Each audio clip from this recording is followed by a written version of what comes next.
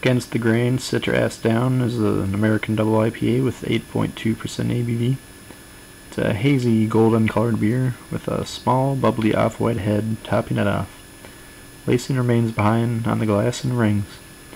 The nose has some underlined sweet pale malts, but is focused on tropical fruit notes with citrus and resinous accents.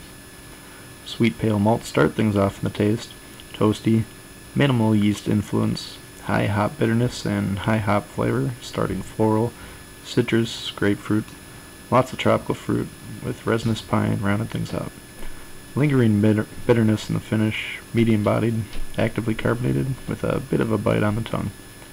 Professor Sudz letter grade for Grinch Against the Grain, Citra Ass Down is a B.